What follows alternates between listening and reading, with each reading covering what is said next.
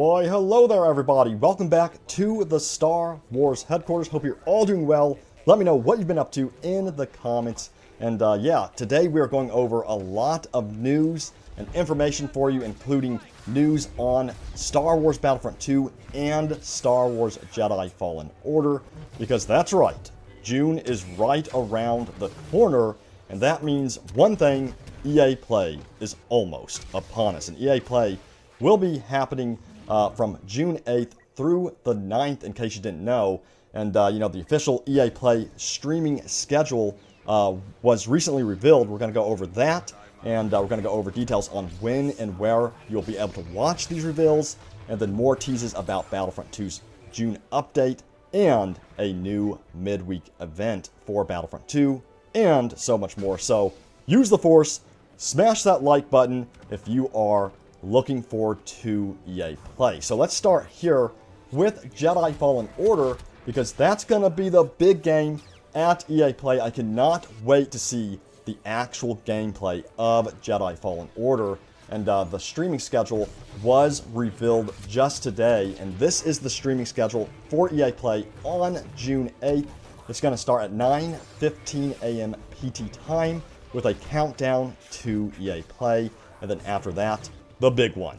At 9.30 a.m. PT time is Star Wars Jedi Fallen Order. So that's when we're going to, going to actually get to see the first real gameplay of uh, this highly anticipated new Star Wars game. So again, let me know what you what you hope to see, you know, from Star Wars Jedi Fallen Order at EA Play, and uh, I can't wait to see it myself. I do know that the trailer, which is playing behind right here, is using actual in-game graphical assets. So I'm expecting expecting the art style, you know, uh, and stuff like that to look very similar to what we saw in the trailer for sure. So again, super excited for this. Can't wait to see what they've been up to. Now, uh, there are other games on there, of course, Apex Legends, Battlefield 5, EA Sports FIFA, EA Sports Madden NFL, The Sims 4, but you'll notice that there's no Battlefront 2 or Need for Speed. So, you know, where is Battlefront 2? We're going to talk about that here in just a second. But do know this, that there are some teases for Battlefront 2 besides just the new Capital Supremacy map, which will be Theed, of course. So they said the following. They said, there's more to June than just the Capital Supremacy map that is currently listed on the roadmap. And we can't wait to talk more about it. So that's a pretty significant tease. They've been teasing, you know, that there's something about June, something big for Star Wars Battlefront 2. So I'm really looking forward to what they have to say about this. And they said the following. They said, we have a great update planned for June for Battlefront 2, and we'll have a community transmission dropping on Friday the 7th that goes into all the details. We'll then follow up towards the middle of the month with a community update video with the update itself landing on June 26th. So, so we do have an official date for the Star Wars Battlefront 2 June updates, June 26th. So the countdown begins. Now, uh, concerning Battlefront 2 at EA Play, you know, will it be making an appearance at EA Play? And this is what the community manager had to say about that. He said, quick update on Star Wars Battlefront 2. We're going to give EA Play a miss this year, but we'll have a jam-packed community transmission for you on June 7th. Myself and a few others from DICE will be on site at EA Play. If you see us, say hello. Uh, he then followed this up by saying the following. He said, We'd have loved to have been there at EA Play, genuinely would have, but just wasn't to be this time.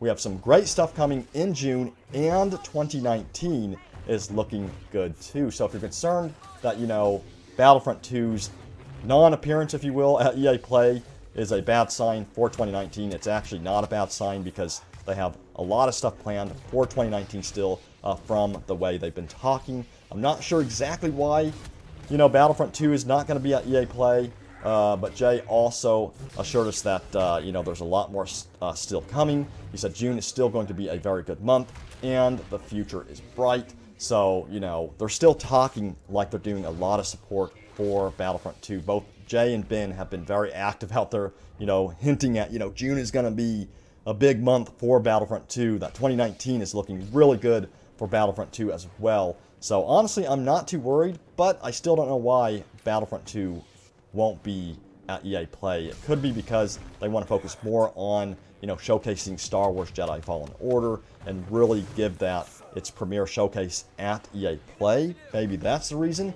But uh, yeah, regardless, I'm excited for all of it. You know, I think June is going to be a huge month for us, you know, of course, because we get the reveal of Jedi Fallen Order's gameplay, and we're getting a lot of updates to Battlefront 2. And uh, you know me, I'm a huge, huge fan of Theed uh, in Battlefront 2. It is my favorite location in the entire game, so I cannot wait for that to come to Capital Supremacy. Now, we're going to go over some other news uh, for Battlefront 2. Uh, you may have noticed that, you know, ever since they updated uh, the leveling to the classes, heroes, and so on with the ability to go up to level 1000, that some people may have leveled up a little bit too fast and, uh, you know, then responded about that on Twitter. He said, we are working on this. We think we know the cause and deciding how we want to proceed. We're talking terabytes worth of data to analyze, triple check, and then validate. Need to be careful. So he's talking about, of course, fixing the issue where, you know, the leveling up is not accurate for some players because I guess some players are leveling up way too fast after the update. So hopefully, you know, they get it fixed soon, of course. But, uh, yeah, let me know if you've ever experienced that problem or have had it happen to one of your classes or heroes in the game. Now, also, you know, in the uh, last video, we were talking about heroes versus villains, you know, how it was updated.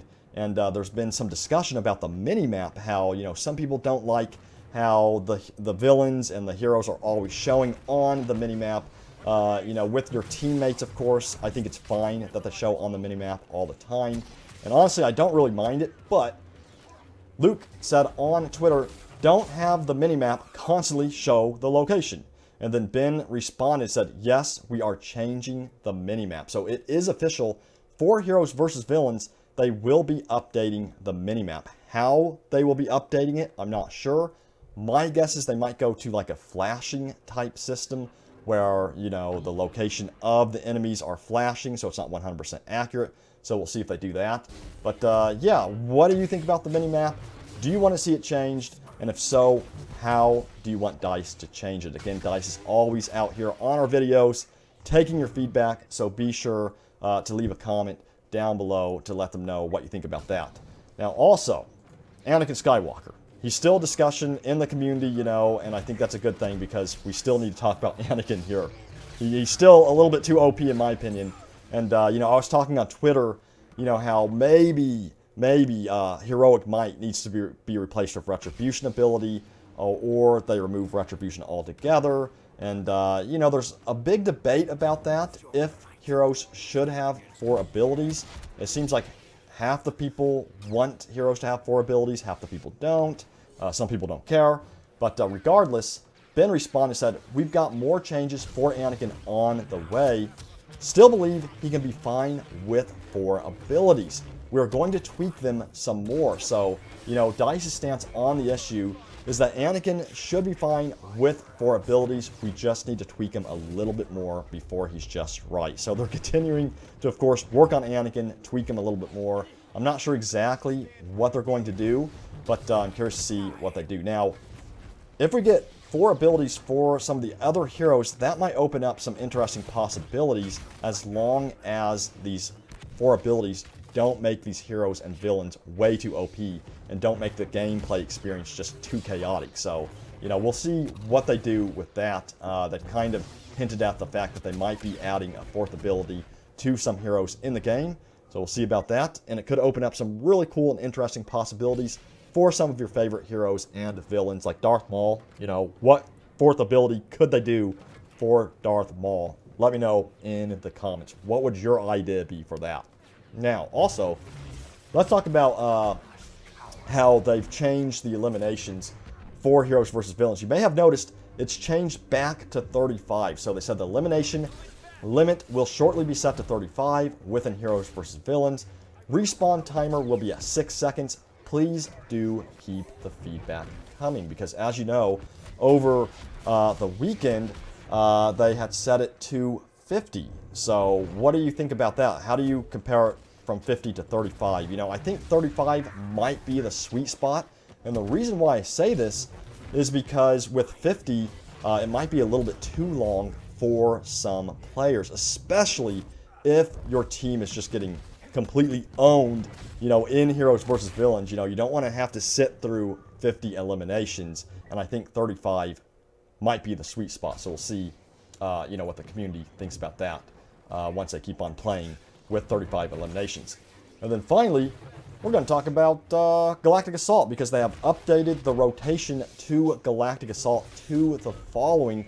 So it's not by era anymore. It's kind of like a mix right there. And uh, it's an interesting rotation. I still feel mixed about this, if you will. Like, I'm not sure how I feel about this completely. Uh, because on one hand, it does add a lot of variety to that rotation. But on the other hand, if you want to just play a string of Clone Wars Galactic Assault maps or a string of Original Trilogy or new Trilogy uh, maps in order, you can't do that at the moment. So what do you think about this rotation here? Do you like it? Do you hate it? I know that some people liked it on Twitter, some people hated it, so it seems like the community's divided about that. Seems like they can never make people happy. But I think the solution ultimately is the ability to go into a server browser and just simply choose the map you want to play. So hopefully, you know, someday we get a server browser. Plus a server browser would be really useful when they introduce, you know, new maps because you could just go to that server browser and just play the new map that just released. But that's going to do it for the video today. A lot of stuff to talk about. Keep it right here at the Star Wars headquarters for more news on Star Wars Jedi Fallen Order and Battlefront 2. EA Play is almost upon us. I'll see you guys next time and may the force be with you. Always.